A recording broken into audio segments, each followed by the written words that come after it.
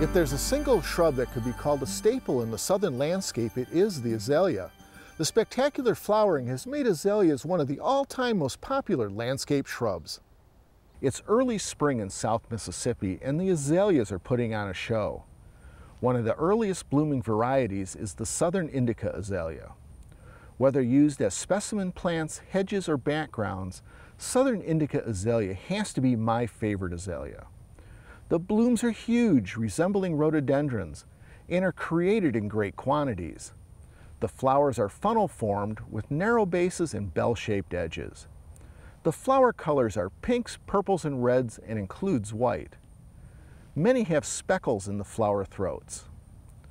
Southern Indica azalea has the potential to be a big plant. Pruning can keep them smaller with denser growth.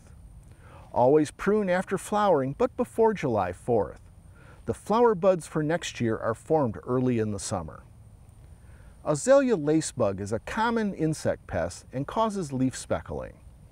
These are sucking insects that live on the underside of the leaf and leave telltale spots of black frass. Azaleas have a shallow and fragile root system that can be damaged from excessive raking. Using organic mulch like these oak leaves is the best method to keep landscape weeds under control. You can expect southern indica azaleas to bloom in early March down on the coast to early April in North Mississippi. I'm horticulturist Gary Bachman for Southern Gardening.